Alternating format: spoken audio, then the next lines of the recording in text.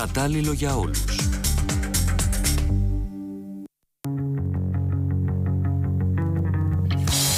Δείτε σήμερα στο σεφ στον αέρα. Συνταγές με μπακαλιάρο από τον Πάνο Σταμούλη. Ο Πάνος έρχεται από τη Θεσσαλονίκη και μας φτιάχνει μπακαλιάρο μπραντάδα που συνοδεύεται από φασολάκια σαλάτα Παρότι δεν τον βλέπουμε τον μπακαλιάρο, το πώς πρωταγωνιστεί σε αυτό το πιάτο. και μπακαλιάρο με πράσα και μουστάρδα. Λιώνει σαν μεδούλη δηλαδή. Είναι φοβερός και δεν είναι ομός. Μην ξοδεύεσαι και φτιάξε ένα εύκολο συνοδευτικό. Καρότα στη λαδόκολλη.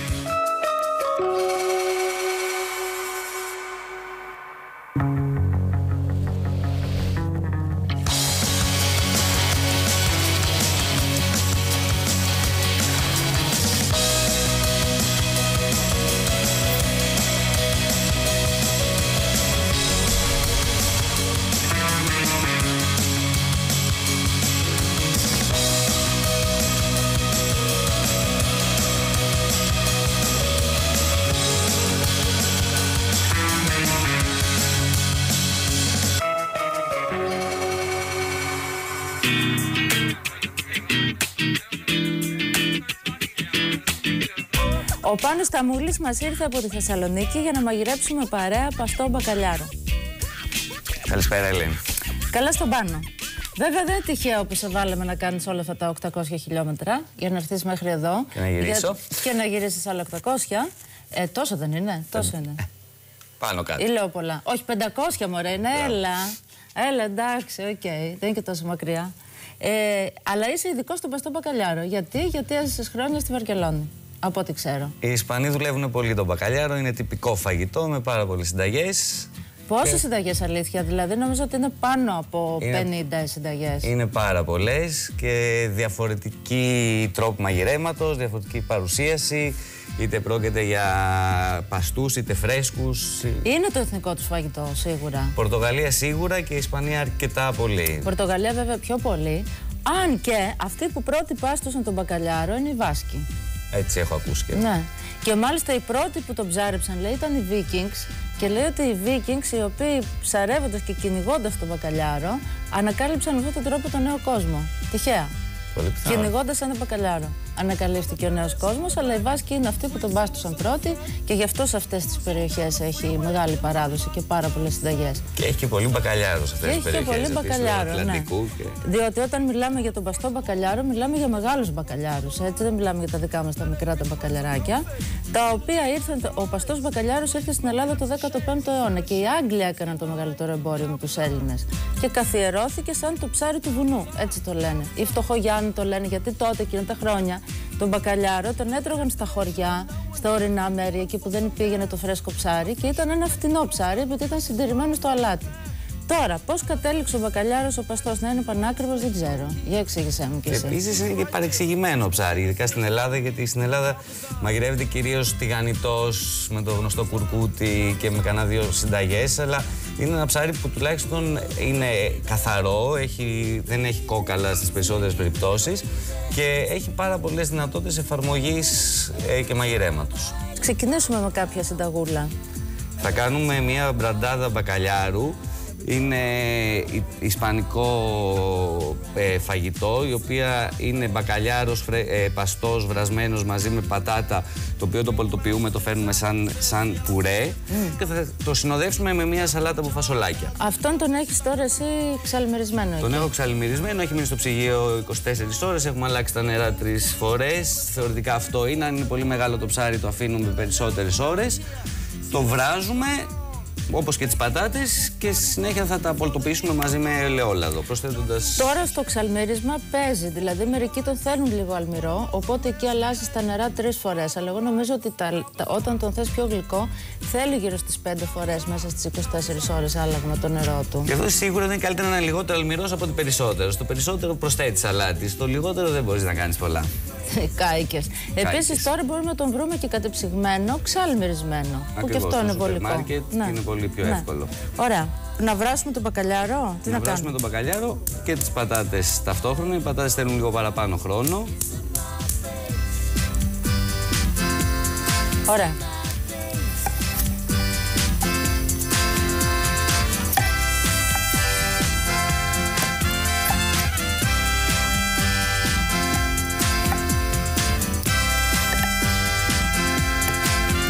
Μας ενδιαφέρει ταχύτητα, γι' αυτό και δεν έχει νόημα να τις βράσουμε με φλούδα ή... Ναι, ναι, ναι. Μπορεί να τις κόψουμε και πιο μικρά Ακριβώς κομματάκια. για να έχουμε λίγο πιο σύντομα το Θα αποτέλεσμα. βάλω που εγώ θέλουμε. αλάτι, γιατί θέλουν αλάτι αυτές. Κάτσε Ακριβώς. να δω.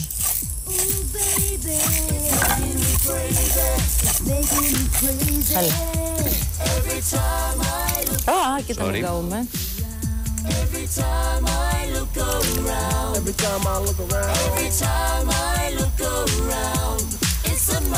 Το τεταρτάκι το θέλουν θεωρητικά, Και 20 λεπτό μη σου πω. σίγουρα.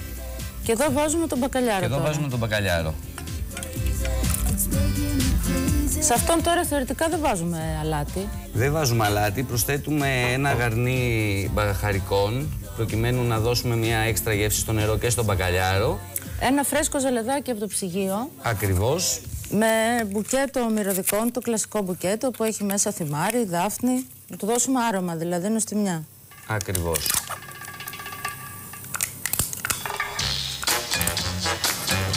Και τα περιμένουμε τώρα. Ε. Λοιπόν, το μυστικό του παστού μπακαλιάρου νομίζω είναι το πολύ λίγο βράσιμο.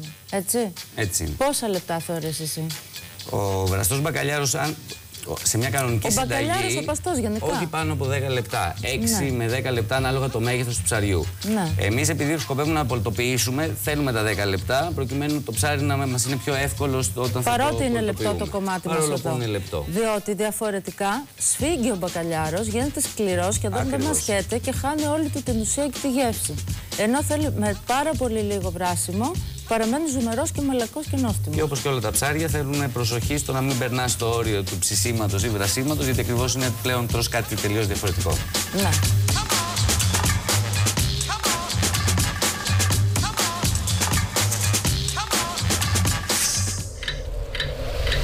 Έχουμε βράσει τις πατάτες, είναι έτοιμες. Τις τραγγίξαμε. Τις τραγγίξαμε.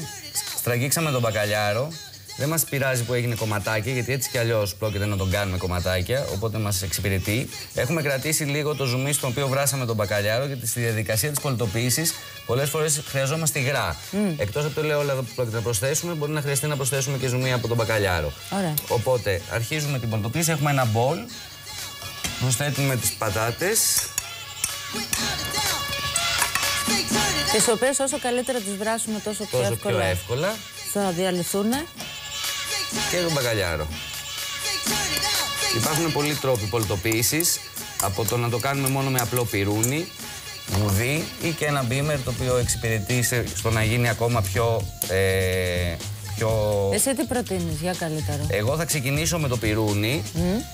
Αν υπάρχουν κάποια κοκαλάκια τα αφαιρούμε στη, δια- στη διάρκεια και μετά θα το τελειώσω με το μπίμερ. Α, δεν σε ενοχλεί δηλαδή που το πίμερ βγάζει λίγο την, ε, το κάνει λίγο κολόδες στην πατάτα; Το κάνει, ε, γι' αυτό προσπαθώ να το κάνω στην αρχή με το πυρούνι όσο γίνεται, προκειμένου να το αποφύγω το, το δέσιμο του άμυλου που Μπράβο, γίνεται στη γιατί- διαδικασία του, με τον μπίμερ. Όταν κάνουμε το πουρέ στο...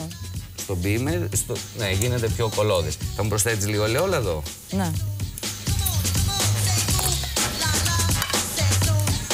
Ευχαριστώ. Αλάτια έχουμε βάλει εξ αρχής, ο μπακαλιάρος ήταν αλμυρός. Μια χαρά πολτοποιείται. Θα βάλουμε λίγο φρέσκο πιπέρι.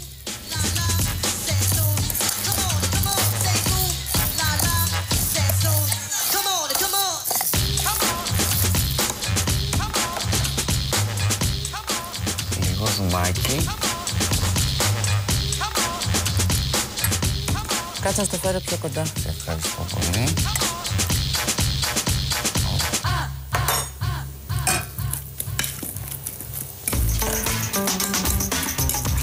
Πολύ κοντά σε αυτό που θέλουμε. Θα προσθέσουμε λίγο φρέσκο θυμάρι, Να σου φέρω. βεβαίως.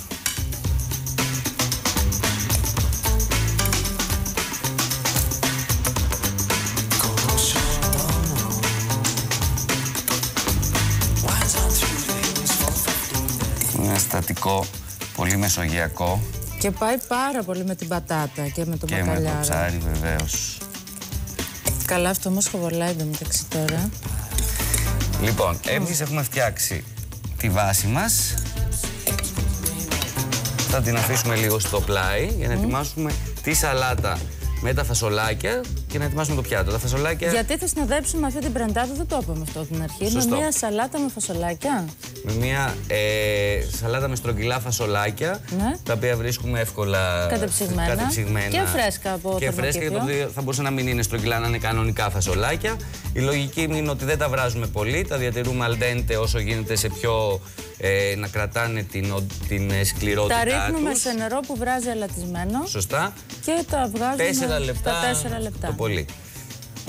Τα στραγγίζουμε. Τα στραγγίζουμε και όπως όλες οι σαλάτες είναι καλό να αναμίξουμε τα υλικά τους προκειμένου να οι γεύσεις και τα έξτρα πράγματα που βάζουμε να μπορέσουν να πάνε σε όλα τα υλικά.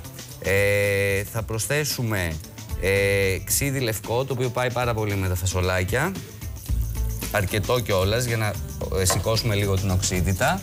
Ελαιόλαδο, Εξού και το βάζουμε στα μπελεφάσουλα. Ε. Ακριβώς. Θα ψιλοκόψουμε μαϊντανό και θα βάλουμε και μία κουταλιά γιαούρτι πρόβιο. Α. Ένας περίεργος συνδυασμός, ο οποίος όμως είναι πάρα πολύ γευστικός. Χωρίς να έχει πάρα πολύ έντονη γεύση, Αυτό δεν το έχω ξαναδοκιμάσει, να σου πω την αλήθεια. αλλά ε, Πολύ ενδιαφέρον. ταιριάζει υπέροχα. Το προσθέτουμε σαλάτα, θέλει μπόλικο μαϊντανό.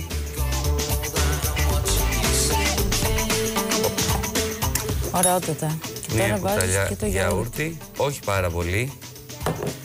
Και ανακατεύουμε. Το γιαούρτι το κάνει λίγο πιο φρέσκο, λίγο πιο δροσερό. Ναι. Και είναι όντως ένας περίεργος συνδυασμός. Αρέσει γενικά όπου σας το έχει δοκιμάσει. Φρέσκο κρεμμυδάκι στη σαλάτα. Είναι μια κλασική σαλάτα με αμπελοφάσουλα.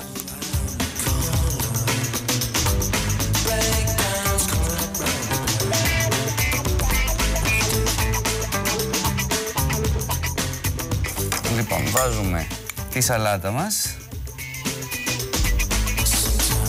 στο πιάτο.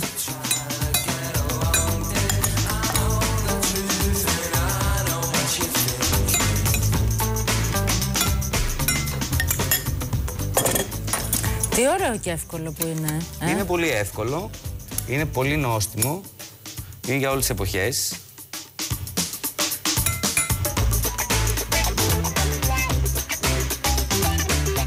Με τι άλλο θα ταιριάζει αυτός ο πουρές, ας το πούμε πουρέ. Δαντάδα. Εκτός από φασολάκια; Με διάφορα λαχανικά, εγώ θα νο- νο- νομίζω, εποχής. Είσαι στο καλοκαίρι, κάποιο κολοκύθι, κάποια μελιτζάνα ψητή. Και με κουνουπίδι, εγώ νομίζω θα ταιριάζει τώρα το χειμώνα. Και με μπρόκολο ενδεχομένως σίγουρα θα πήγαινε πολύ καλά. Ναι. Δηλαδή στην ουσία με μια βραστή σαλάτα, ας πούμε, λαχανικών. Το Ακριβώς. κάνεις αυτό. Ναι. Προσθέτουμε λίγο μό ελαιόλαδο πάνω από, από την πραντάδα. Πολύ. Μην νοιάζεσαι, δεν το φάμε. Άρωμα δεν είναι.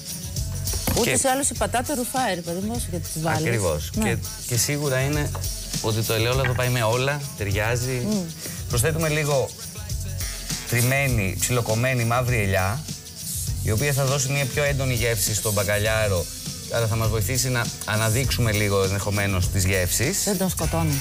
Γιατί είναι έντονη η ελιά. Ακριβώς, γι' αυτό βάζουμε πολύ λίγο. Α, μάλιστα. Όπως επίσης θα τρίψουμε και λίγο κρόκο αυγού από πάνω για μια αντίθεση στις γεύσεις. Η μία θα έχει πιο έντονη γεύση που είναι η ελιά, Ναι. ο κρόκος αυγού είναι πιο ομαλή, πιο απαλή γεύση και έτσι Όπου ο κρόκος αυγού ταιριάζει τρελά και στα φασολάκια. Δηλαδή σε μια Ακριβώς. σαλάτα σκέτη με τα φασολάκια είναι υπέροχο αν τρίψετε από πάνω ο κρόκος σφιχτού αυγού.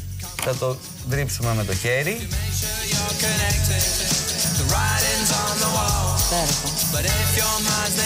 Εμένα μου αρέσει να μένουν και λίγο τα, κο- τα... Ομορφαίνει και το πιάτο, γιατί Ναι. έχουμε τις διαφορετικές χρωματικές ε, Ναι, δεν παχαίνει ομορφαίνει. Είναι αυτό που δεν ταιριάζει απόλυτα. ακριβώς. Και... Και το πιάτο μας είναι έτοιμο. Ναι, τι θες; Λίγο πιπέρι θες. Θέλω λίγο πιπέρι φρέσκο παντού. Αλάτια έχουμε. Προσθέσει. Πανδεσία. I'm gonna get myself connected. I ain't gonna go blind for the light Για την πραντάδα μπακαλιάρου. Βράζουμε το μπακαλιάρο με ένα μπουκέτο μυρωδικών για 10 λεπτά. Τον στραγγίζουμε και κρατάμε το ζουμί του. Τον καθαρίζουμε από τα κοκαλάκια του. Λιώνουμε τις βραστές πατάτες με τον μπακαλιάρο και ρίχνουμε ελαιόλαδο και ζουμάκι από το βράσιμο αν χρειαστεί. Προσθέτουμε φρέσκο θυμάρι. Για τη σαλάτα βάζουμε βρασμένα τα φασολάκια σε ένα μπολ μαζί με ελαιόλαδο, ξύδι, μαϊντανό, φρέσκο κρεμμυδάκι και πρόβιο γιαούρτι. Γαρνίρουμε στο πιάτο με μαύρη ελιά και κρόκο αυγού.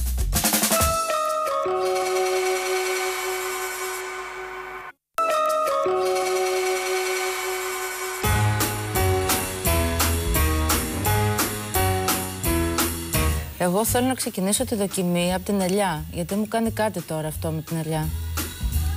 Εγώ θα δοκιμάσω το αυγό. Είναι ένας διαφορετικός τρόπος να τρως μπακαλιάρο. Ρε Εσύ η ελιά του δίνει κάτι που του αναδεικνύει τη γεύση του μπακαλιάρου, δεν το σκοτώνει. Αυτή είναι η ιδέα. Το λίγο. Αυτό. Και ξέρεις ποιο είναι το φοβερό, ότι όταν σε έβλεπα να βάζεις τον μπακαλιάρο με την πατάτα, νόμιζα ότι θα υπερισχύει η πατάτα. Αλλά είναι η γεύση του μπακαλιάρου ακριβώς ο παστός είναι αρκετά ισχυρός. Παιδιά είναι φοβερό, αλλά υπερισχύει και σαν υφή ή είναι του μπακαλιάρου και σαν γεύση. Καταπληκτικό είναι. Μμμ. Κάτσε να δω και με το αυγό και με το, Και με το φασο- φασόλι να με το το φασόλι. δοκιμάσεις. Φασόλι νομίζω δεν βάλαμε αλάτι. αλλά- Νομίζω δεν βάλαμε αλάτι, οπότε είναι εύκολο να προσθέσουμε. Να αφαιρέσουμε είναι δύσκολο. Now, baby, listen, baby, don't you treat me this away. Ταιριάζει τέλεια. Καταρχήν το πρόβιο το γιαουρτάκι δεν καταλαβαίνεις ότι έχει Δεν γιαουρτάκι. καταλαβαίνεις γιατί; ότι έχει γιαούρτι, δεν καταλαβαίνεις ότι είναι πρόβιο. Είναι τίποτα. τόσο λίγο που είναι σαν να είναι κάτι το κρεμόδες. Α πούμε και το δροσερό. Αλλά δεν έχει όμως. λιπαρά. Όχι, είναι δροσερό. Ακριβώς. Μμ. Και το διατηρεί φρέσκο χωρίς να του προσθέτει έντονες γεύσεις ή Είναι φοβερό το λιπαρότητες. πώς, παρότι δεν τον βλέπουμε τον μπακαλιάρο, το πώς πρωταγωνιστεί σε αυτό το πιάτο και πόσο νόστιμος και ελαφρύς είναι μέσα σε όλη αυτή τη σύνθεση. Χαίρομαι. Μπράβο πάνω μου. αρέσει. Υπέροχο.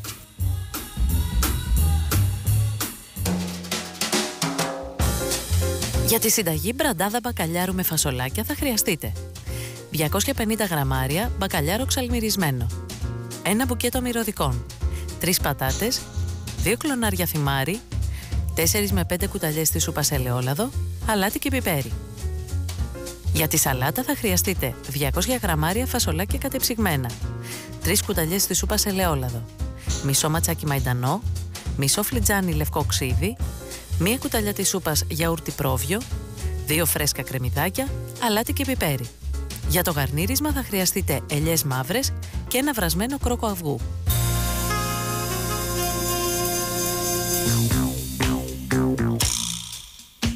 Μην το πετάς στο τύπ της ημέρας. Τα μακαρόνια της προηγούμενης μπορούν να γίνουν σήμερα μια ωραιότατη ομελέτα. Τα χθεσινά μακαρόνια δεν τα πετάμε. Τα ζωντανεύουμε με λίγη ρευστή μαργαρίνη, μαϊντανό και όποιο κίτρινο τυρί έχουμε στο σπίτι. Χτυπάμε αυγά και μέσα στα αυγά βάζουμε τα ζυμαρικά. Ανακατεύουμε καλά. Ρίχνουμε το μείγμα στο τηγάνι και ψήνουμε και από τις δύο πλευρές. Έχουμε έτσι μια χορταστική ομελέτα με μακαρόνια. Νόστιμο και πλήρες γεύμα. Λοιπόν, συνήθως το μπακαλιάρο συνηθίζουμε να τον κάνουμε τηγανιτό. Βάλε τώρα ότι και σου λέει η νοικοκυρά ότι είναι εύκολο φαγητό. Είναι πανδύσκολο φαγητό, διότι πρέπει να βρεις το κατάλληλο κουρκούτι που να είναι τραγανό και να μην είναι και πάρα πολύ βαρύ. Να το αφήσεις το κουρκούτι να μείνει, να βάλεις μέσα το μπακαλιάρο, να βάλεις τα λάδια, να γεμίσει η κουζίνα λάδια, να καθαρίζεις τα λάδια, να τηγανίσεις το ψάρι, να είσαι από πάνω στο τηγανιτό να το βγάλεις την κατάλληλη στιγμή, να το κάνεις ανθίγινο επειδή το έκανες τηγανιτό, να πάρεις 650 θερμίδες στην μπουκιά. Ενώ υπάρχει ένας τρόπος express, απίστευτα υγιεινός, για να κάνεις ένα θεϊκό μπακαλιάρο. Αφήνω το λόγο σε Θα σένα. κάνουμε μπακαλιάρο με πράσα. Ένα πολύ γρήγορο φαγητό. Δεν θέλουμε πάνω από ένα τέταρτο, 20 λεπτά και να το προετοιμάσουμε αλλά και να το φάμε. Δηλαδή διαδικασία μαγειρέματος. Είναι της εποχής. Ε, είναι με λίγες θερμίδες βεβαίως και πολύ ελαφρύς, δεδομένου δεν χρησιμοποιούμε τίποτα άλλο εκτός από τα βασικά υλικά που είναι το πράσινο μπακαλιάρος και απλό ελαιόλαδο. Ξεκινάμε... Φτηνό διέτηση, υγιεινό, τι άλλο θέλετε; Και γρήγορο. πεντανόστιμο τώρα για το πόση ώρα θα σας πάρει να το φάτε, απολαύστε το. Αυτή Εμείς είναι. λέμε ότι το δεκάλεπτο τέταρτο είναι για να το φτιάξουμε. Έτσι. Και οπότε θα το φάτε. Γιατί είναι και σαν μαγειρευτό που μένει και για λίγο παραπάνω και νοστιμεύει συνήθως. Ναι. Ε, είναι νοστιμότερο την άλλη μέρα. θες να Ακριβώς. πεις. Ναι. Θα σοτάρουμε, θα μαλακώσουμε πρώτα τα πράσα, θα προσθέσουμε στη συνέχεια, θα τα σβήσουμε με λίγο κρασί, προσθέτοντας λίγη μουστάρδα. Θα προσθέσουμε τον μπακαλιάρο, πολύ χαμηλή φωτιά, σκεπασμένο σκεύος, 8 λεπτά, τέλος. Έτοιμο Ναι. το φαγητό. Ξεκινάμε κόβοντας τα πράσα σε αρκετά μεγάλα κομμάτια προκειμένου να συντηρήσουν να μην μας λιώσουν στη διαδικασία. Α, τι Αφήνουμε ωραίο αυτό. Ναι. Το, εσ- το άσπρο κομμάτι μπορούμε να το χρησιμοποιήσουμε σε Διότι- κάτι πιο, που να είναι πιο σοταρισμένο ή σε κάποια άλλη συνταγή. Προσθέτουμε λέω. Πραγματικά το πράσο αποκτάει τελείως διαφορετική γεύση όταν το αφήσεις μεγάλο. Είναι πιο νόστιμο για μένα. Ε, Καταρχήν δεν λιώνει τόσο, βγάζει Ναι. τα, τα βασικά του χαρακτηριστικά και διατηρείται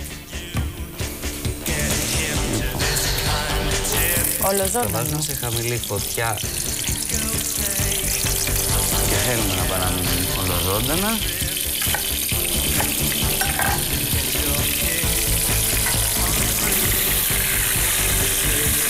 Ωραία, τα ρίχνουμε δύο-τρει γύρες δηλαδή αυτά. Δεν θέλουμε να ροδίσουμε κάτι. Δεν θέλουμε να ροδίσουμε, θέλουμε χαμηλή φωτιά, θέλουμε να μαλακώσουν και θα συνεχίσουμε αυτή τη διαδικασία μέχρι να προσθέσουμε το κρασί γύρω στα 5 με 10 λεπτά. 5 Α. λεπτά. Να τα αφήσουμε δηλαδή εκεί Να πέρα. τα αφήσουμε. Ναι. Και αφού μαλακώσουν, έχουν αρχίσει να μαλακώνουν, μετά θα προσθέσουμε τον μπακαλιάρο, ο οποίος δεν θέλει πάνω από 6 με 7 λεπτά για να γίνει και πάντα ανάλογα με το μέγεθος του ψαριού. Τα πιο παχιά ψάρια θέλουν λίγο περισσότερη ώρα. Να προσθέσουμε και λίγο σκόρδο, το Α, οποίο το βάλε και το ξεχάσαμε, σκόρδο. το οποίο θα προσθέσει γεύση προσθέχοντας πάντα να μην μας καεί. ναι. Γι' αυτό και θέλουμε η φωτιά να είναι χαμηλή. Οι Ισπανοί χρησιμοποιούν πάρα πολύ το σκόρδο. Έως, Νομίζω- έως εξωφρενικά πολύ, ναι, σε, στα- σε όλα τα φαγητά. Πάντως, επειδή πραγματικά ταιριάζει σε αυτό το φαγητό, αν θέλετε μπορείτε να βάλετε και λίγο παραπάνω. Εγώ Εμείς- ευχαρίστως, δεν Εμείς έχω. βάζουμε μια πολύ διακριτική ποσότητα, αλλά νομίζω ότι πραγματικά του ταιριάζει. Είναι πολύ παρεξηγημένο. Εξάλλου δεν γίνεται βαρύτητα, ότι μαγειρεύεται. Ακριβώς. Μπράβο, έλα, βάλε ακόμη λίγο. Και χοντροκομμένο νομίζω ότι δίνει καλύτερη γεύση. Βασικά μεταφέρει τη γεύση στο ελαιόλαδο, το οποίο ελαιόλαδο αυτό θα μείνει και ως σάλτσα στη συνέχεια και για τον μπακαλιάρο. Ωραία. Δεν βάζει σαλάτι, είδα. Όχι ακόμα, Ναι. στο τέλος. Τώρα σε αυτή τη συνταγή, η οποία έχει απλά τρία υλικά, στην ουσία δύο, τι να πω, καθόλου υλικά, ε, σημασία έχει η ποιότητα των υλικών. Και Ακριβώς. εκεί ερχόμαστε, εντάξει, το πράσινο πράσο, πώς διαλέγεις ένα καλό μπακαλιάρο. Δηλαδή, όταν αγοράζεις το μπακαλιάρο τον παστό, υπάρχει και σε φιλέτο. Επειδή το έχω δοκιμάσει πάρα πολλές φορές, παιδιά δεν είναι νόστιμο το φιλέτο. Αυτό το ξεκοκαλισμένο Έτσι, δηλαδή έτσι φιλέτο. Ο πιο νόστιμος μπακαλιάρος είναι αυτός που είναι ολόκληρος με τα κόκαλά του. Εξάλλου είναι τόσο εύκολο να του βγάλεις τα κόκαλα γιατί είναι κάτι τεράστια κόκαλα σε ένα σημείο μόνο. Ε, και όσο πιο χοντρό είναι το φιλέτο και πιο άσπρο το χρώμα του, τόσο πιο νόστιμος και πιο τρυφερός είναι. Έτσι. Τώρα είναι και από κάποια χώρα που είναι πιο νόστιμος, δεν θυμάμαι, από την Νορβηγία. ή Από την Νορβηγία υποτίθεται Μπράβο. είναι η μπακαλιάρη Ναι. του Βόρειου Ατλαντικού που λένε, που Ναι. είναι πιο νόστιμη από Ναι, τους νότιους, γιατί υποτίθεται εκεί είναι πιο θρεπτικές οι θάλασσες Γι' αυτό και, λες. και τα λοιπά. Γι' Πιο αυτό νόστιμες οι θάλασσες. Ναι. πιο, νόσ- πιο θρεπτικές κάτι έχουν. Ε, αυτά λοιπόν, οπότε περιμένουμε να ετοιμαστούν τα πράσα.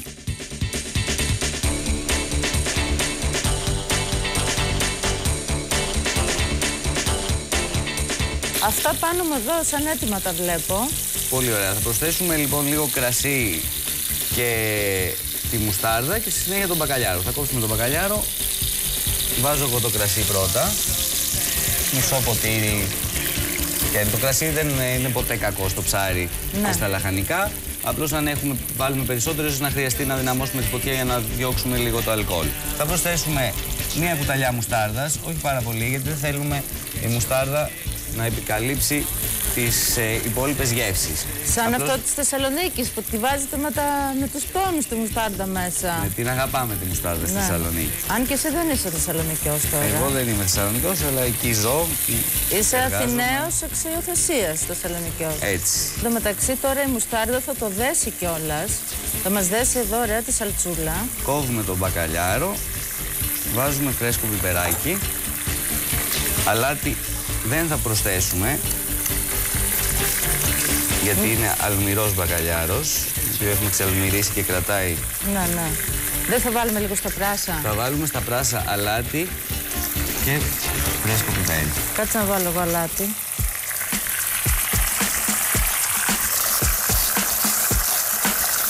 Είδες που έδεσε ήδη η σάλτσα; Ε, είναι από τα ζουμιά που βγάζει το πράσο, τα οποία δένουν εξαιρετικά τη σάλτσα. Βάζουμε δύο φιλαράκια δάφνης. Όχι πολύ ποτέ, γιατί είναι αρκετά έντονη Ναι. η γεύση της. Το μπακαλιάρο τον βάζουμε το δέρμα προς τα κάτω να κουμπάει πάνω στα πράσα. Χαμηλώνουμε πάρα πολύ τη φωτιά Και το σκεπάζουμε και το φαντάζομαι. σκεπάζουμε. Ωραία, αυτός θα γίνει ποσέ δηλαδή. Αυτός θα γίνει σχεδόν ποσέ, Να του βάλω και λίγη σαλτσούλα από πάνω. βεβαίως. I'm taking back the knowledge. Εγώ θα ψιλοκόψω μαϊντανό, το οποίο θα χρησιμοποιήσουμε στο σερβίς. The ritual. Και το αφήνω λίγο τώρα, 4-5 λεπτάκια. Σε πολύ χαμηλή φωτιά, 4-5 λεπτά χρειάζεται συνήθως. The knowledge. I'm Είναι taking. πάρα πολύ γρήγορο. Ένα θρεπτικότατο πιάτο. I'm taking back the ritual. I'm giving in to sweetness. And I'm tripping out, working on a revolution. Ωραία. Είμαστε έτοιμοι. Προσέχουμε να μην έχει Πω, πω, το κρασί και η δάφνη, παιδιά, τα αρώματα. Είναι θεϊκά. Πολύ ωραία, έλα, βάλει και το μαϊντανό. Το μαϊντανό θα τον βάλω όμως στο τέλος στο σερβίς Α, θα μας τον του βάλεις, πιάτου. δηλαδή σερβίρουμε. Δηλαδή σερβίρουμε, είμαστε έτοιμοι. Αυτά τα μαγειρευτά φαγητά είναι καλό να τα αφήνεις τρία λεπτά πριν το μέσα στην κατσαρόλα. Εγώ θα έλεγα και μία-δύο ώρες ακόμη καλύτερα. Ακόμα καλύτερα, Αυτό- αλλά άμα πεινάς. Άμα πεινάς, θα φας. Ακριβώς. Ή άμα θα σου φύγει ο Πάνος από δίπλα, δεν το δοκιμάσεις, κατάλαβες; Ακριβώς. Επίσης, αυτά τα φαγητά είναι πιο νόστιμα σε θερμοκρασία δωματίου και όχι πολύ Και καυτά. όχι πολύ καυτά. Βέβαια. Διότι εδώ έχουμε τη λογική του λαδερού στην ουσία. Έτσι. Ακριβώς. Είναι ένα λαδερό φαγητό. Το οποίο όμως δεν έχει μαγειρευτεί πάρα πολλές ώρες. Να, Πάρα πολλή ώρα και έτσι είναι πιο ελαφρύ. να. Και Έχουμε τι ένα ωραία πολύ ωραίο σατσούλα του. ζουμάκι. Ναι. Κάνει για βούτες αυτό τώρα; Ε, επιτρέπει, αν το επιτρέπει ο διατροφός. Επιτρέπετε. Νομίζω ότι επιβάλλεται. Είναι έτοιμο, μπορούμε να προσθέσουμε και άλλο μπαγκαλιάρο και άλλα πράσα ό,τι θέλουμε. Όχι, μαϊντανό θέλουμε. Μαϊντανό μπόλικο, πάει με το ψάρι πάντα. Άρωμα και χρώμα. Άρωμα και χρώμα.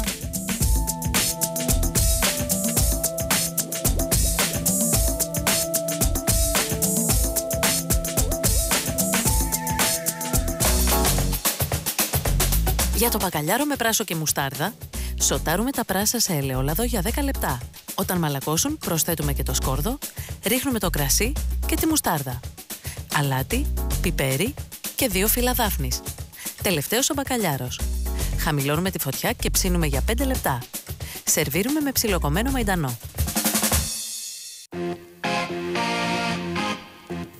Λοιπόν, το κόψαμε. Το κόψαμε, το δοκιμάζουμε. Βάζουμε το φιλέτο του μπακαλιάρου. Το οποίο κόβεται με το πυρούνι, είναι πάρα πολύ μαλακός. Θα πάρω το μαχαίρι όμως να, με βοηθήσει- να βοηθηθώ. Να σας πούμε μια πονηριά που κάναμε. Δεν την καταλάβατε. Το βγάλαμε. Είπε, είπε ο Πάνος 5-6 λεπτά. Και επειδή εγώ τον τρώω μόνο τον μπακαλιάρο, του λέω μπορεί να το βγάλει στα 3-4. Και τον βγάλαμε στα 3-4. Λοιπόν, αν το δοκιμάσετε αυτό το πράγμα, θα λιποθυμήσετε. Διότι είναι το απόλυτα άψογο ψήσιμο του μπακαλιάρου. Πες μου Ακριβώς ότι γιατί δεν είναι. κρατάει όλες του τις γεύσεις. Λιών σαν μεδούλη δηλαδή. Είναι φοβερός και δεν είναι ομός. Καθόλου όμως. Ναι. Λοιπόν, Ο 3-4 μπακαλιάρος, λεπτά. ο αλμυρισμένος, έχει ψηθεί στη διαδικασία της Ο συντήρησης. ξα... Α, ο άλμυρισμένο. Ναι, έχει ψηθεί από το αλάτι, Ακριβώς, βέβαια. οπότε τρώγεται πολύ εύκολα όμως. Και γι' αυτό θέλει και πάρα πολύ λίγο χρόνο στις διαδικασίες μαγειρέματος. Λοιπόν, είναι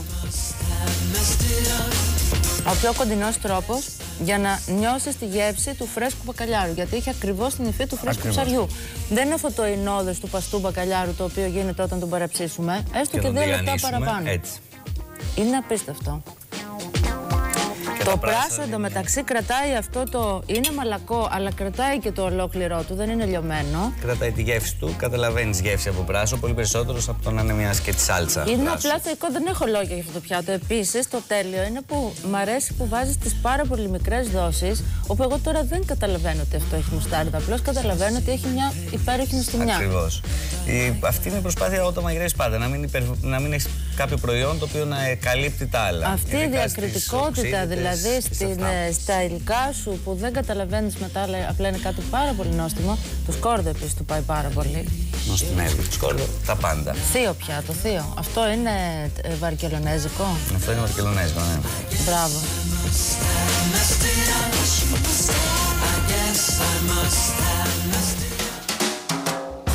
Για τη συνταγή μπακαλιάρος με πράσο και μουστάρδα θα χρειαστείτε. 600 γραμμάρια μπακαλιάρο ξαλμυρισμένο, μισό φλιτζάνι ελαιόλαδο, 500 γραμμάρια πράσα, 2 σκελίδες σκόρδο, ένα φλιτζάνι λευκό κρασί, 2 φύλλα δάφνης, ένα τέταρτο από ένα ματσάκι μαϊντανό, μία κουταλιά της σούπας μουστάρδα, αλάτι και πιπέρι.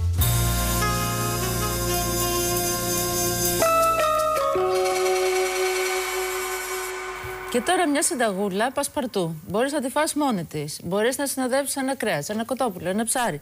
Μπορείς να συνοδεύσεις το μπακαλιάρο που κάναμε στην αρχή, την πραντάδα. Βεβαίως. Έτσι.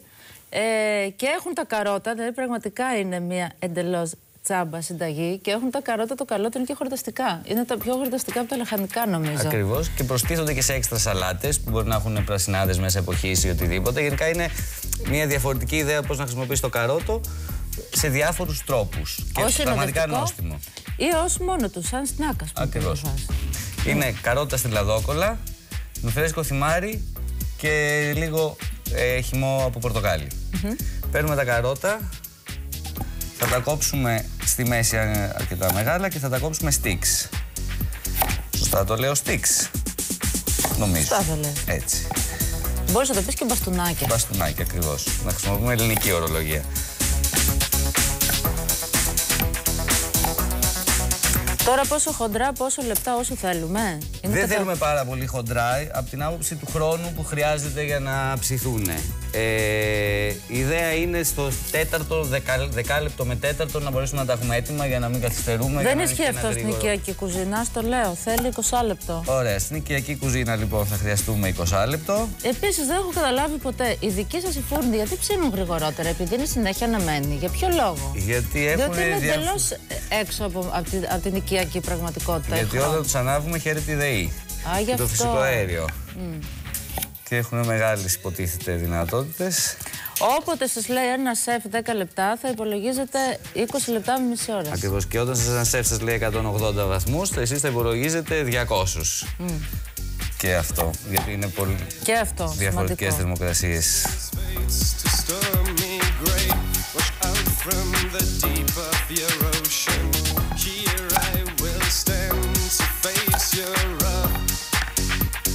I will stand to face your wrath. Κόβουμε τα καρότα μας. Εσύ μπορεί να, να μου φέρεις το φρέσκο θυμάρι.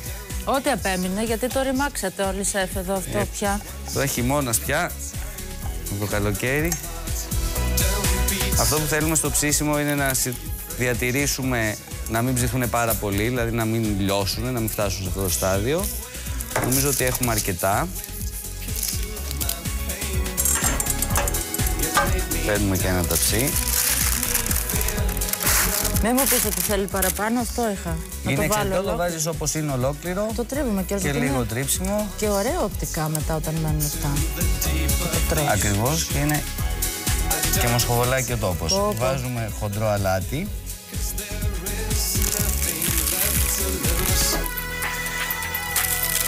Λίγο ελαιόλαδο, πάντα. Φρέσκο πιπέρι. Α σου πω ότι πεθαίνω για αυτές τις συνταγές, οι οποίες είναι και πιο νόστιμες. Και πιο απλές επίσης. Αλλά το εντυπωσιακό είναι ότι ένα, ένα φαγητό που το οποίο δεν του έχεις δώσει καθόλου, δεν το έχουμε σε καθόλου εκτίμηση, δηλαδή καρότο και φτηνό και σχετικά διάφορο, πώς μεταμορφώνεται σε κάτι πάρα πολύ νόστιμο. Θα στύψουμε μισό, χυμό πορτοκα... μισό πορτοκάλι.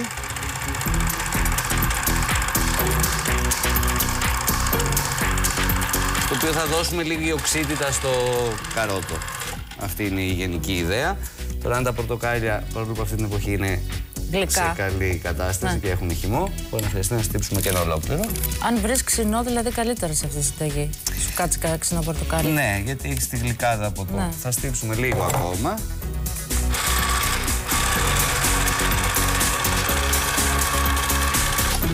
Σήκωσε και το, ε, το, το, το στόμιο του εκεί για να μην σου χυθεί μετά. Σωστό. Να είδε, δεν ήξερα. Είδες. Το μαθαίνω. Προσθέτουμε και τον υπόλοιπο. Και τώρα το ανακατεύουμε λίγο με το χεράκι μας. Να πάνε όλοι οι χυμοί παντού. Οι οποίοι θα κρατηθούν μέσα στη λαδόκολλα αφού θα την κλείσουμε. Και τώρα το μόνο ίσως λίγο δύσκολο στάδιο είναι το πώς κλείνουμε τη λαδόκολλα. Να σου πω εγώ έναν εύκολο που κάνω. Ναι. Βάζω τη λαδόκολλα στο έτσι και βάζω και μία άλλη Στο έτσι. στο ανάποδο και μετά το παίρνω όλο και το κάνω έτσι. Γυρίζεις. Στριφτό. Τέλεια. Ένας άλλος τρόπος λοιπόν για να διπλώσουμε και εύκολος και είναι με ένα μανταλάκι. Το οποίο το πιάνουμε το χαρτί, συντηρείται το μανταλάκι, δεν καίγεται στο φούρνο και είναι ξύλινο και έχει πλαστικό. Ναι. Και πάρα πολύ εύκολα καταφέρνουμε να το έχουμε έτοιμο. Ωραία. Τώρα εμείς έχουμε μανταλάκι. Το παλιό καλό. Το παλιό Βουγάδα. καλό ξύλινο μανταλάκι. Μανταλάκι. της βουγάδας. Ωραία. Είμαστε έτοιμοι. Στο φούρνο 180, 150, 100, ανάμεσα με 180. 200 βαθμούς για μισή ώρα. 200 βαθμούς για μισή ώρα. λοιπόν. Το είπα. Με δικά μου λόγια. Αν δεν το ανοίξουμε αυτό,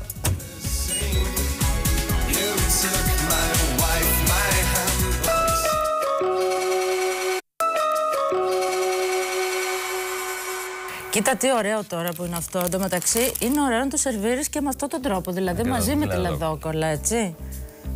Να ορμήσω. Να ορμήσεις είναι τραγανά. Wow. Μμ. Εξαιρετικά νομίζω. Εξαιρετικά. Πραγματικά. Και μπορείς να προσθέτεις αν θες μετά λίγο έξτρα χοντρό αλάτι. Ναι. Σε περίπτωση που Αν και το έχουμε το Χρειάζονται. αλάτι, είναι μια χαρά. Καλά αυτά τρώγονται σε πατατάκια, δεν μπορείς να σταματήσεις. Ακριβώς. Κρατάει ελάχιστα. Μυρίζεις όλο το άρωμα του λαχανικού. Και από το θυμάρι. Το θυμάρι είναι πάρα πολύ διακριτικό. Και αυτό που είναι καταπληκτικό είναι το πώς το πορτοκάλι χάνεται και απλώς δίνει μια μικρή οξύτητα. Ακριβώς. Και βέβαια το πόσο υπέροχο γίνονται τα καρότα όταν τα ψήνεις. Βγάζουν ζάχαρα και γίνονται γλυκά. Γλυκά. Σαν τις πατάτες, ρε παιδί μου. Και είναι πολύ Μα διαφορετικά και πιο νόστιμα από ένα απλό βράσιμο ή ψήσιμο του Σαν τις καρότου. γλυκοπατάτες μάλλον, γιατί είναι πολύ πιο γλυκά από τις πατάτες. Δεν μπορείς να σταματήσεις, δεν το λέω. Για τη συνταγή καρότα στη λαδόκολλα θα χρειαστείτε 400 γραμμάρια καρότα, 3 κουταλιές στη σούπας σε ελαιόλαδο, 3 κλονάρια θυμάρι, χυμό από ένα πορτοκάλι και αλάτι χοντρό. Αλλά μπορείς να το σερβίρεις και σε μια ωραία πιατέλα. Εννοείται. Κάτσε να βρούμε και ένα... Α, να το. Αυτό. Μας κάνει και αυτό.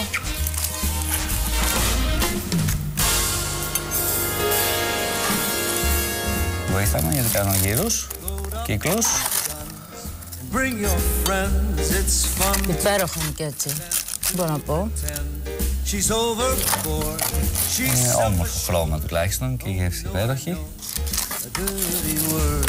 Hello, hello, hello, how, Καταπληκτικό είναι. Τα πετύχαμε νομίζω. hello. Και πραγματικά ταιριάζει με όλα τα κρέατα αυτό σαν συνοδευτικό, έτσι. Και τα λευκά ψάρια, Ναι. τους μπακαλιάρους που λέγαμε νωρίτερα. Less dangerous. Here we Αυτά are φτάνει. now. Entertain us. Υπέροχο πιάτο. Ωραία. Contagious. Here we are now. And Πάνω μου, σε ευχαριστούμε πάρα πολύ. Εγώ μεγάλη μου χαρά. Ελπίζω να συνεχίσετε να κρατάτε το κέφι σας στη Θεσσαλονίκη. Δεν ξέρω, κάτι μου Σε λέει. καλό δρόμο είμαστε Πώς είναι πάντως. τα πράγματα; Είναι ίσως λίγο καλύτερα από την Αθήνα, από την άποψη ότι η πόλη είναι πιο μικρή και πιο εύκολη στην καθημερινότητά Βγαίνουν, της. βρίσκεστε; Βρισκόμαστε γιατί είμαστε πιο κοντά από ότι η Αθήνα. Και εμείς βγαίνουμε. Έχω να πω ένα πολύ αισιόδοξο ότι από το Σεπτέμβριο και μετά, παιδιά, όλα τα μαγαζιά, οι πλατείες έχουν αλλάξει πια της Αθήνας αλλά και της Θεσσαλονίκης. Θεσσαλονίκης. Νομίζω ότι είναι ένα κομβικό σημείο αυτό που ζούμε Ε, τώρα. ναι, ε. γιατί και ο κόσμος το έχει ανάγκη το να Ναι, μπορέσει να είναι. αλλάζουν οι πιάτσες και γεμίζουν τα καινούργια μαγαζιά, οι καινούργιες πλατείες, τέλος πάντων όπου γίνονται στέκια. Και είναι αισιόδοξο κι αυτό. Καθόμαστε να μιζεριάζουμε Χρειαζόμαστε σπίτι λίγη μας. αισιοδοξία. Ναι. Και άμα κάνει και ο Πάνος τέτοια φτηνά πιάτα, ας πούμε, πηγαίνεις και έξω και τρως. Ε, Ε, προσπαθείς τουλάχιστον. προσπαθείς.